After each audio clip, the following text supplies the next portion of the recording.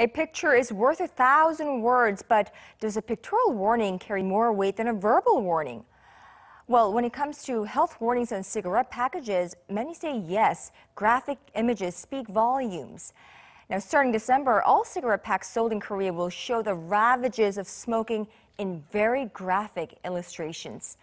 Our Lee Un-shin reports the Korean government is pinning hopes that these images will be effective at prompting active smokers to kick the habit.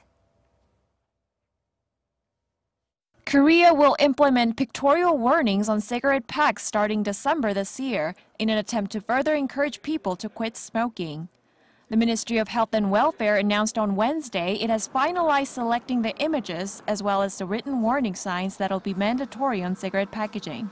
Explicit depictions of diseases associated with smoking, such as lung cancer, as well as non-lesional health risks such as rapid skin aging and sexual dysfunction are among the selected images.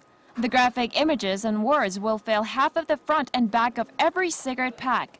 Other tobacco alternatives, such as electronic cigarettes, will also include pictorial and written warnings on nicotine addiction. The images show the potential health risks of smoking in a very blunt way.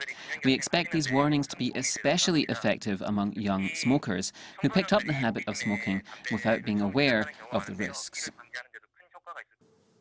Other countries have significantly reduced smoking rates.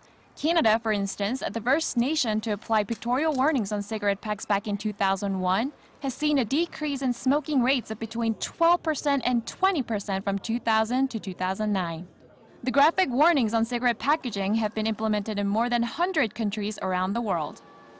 Yoon Shin, Arirang News.